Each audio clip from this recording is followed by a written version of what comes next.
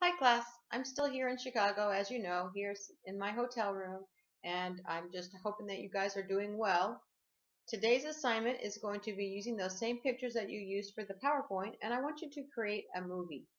So for some of you it might be the first time that you've ever used Movie Maker. I've got lots of helps for you. I've got another video that takes you through all the basics and I've got a PowerPoint or a slideshow that will give you step-by-step -step instructions and I've also got an example.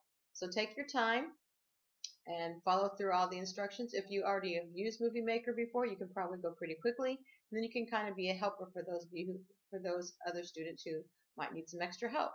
So Movie Maker is something that it's a useful tool, something that you'll be glad that you know how to do and we'll be using it more in the future.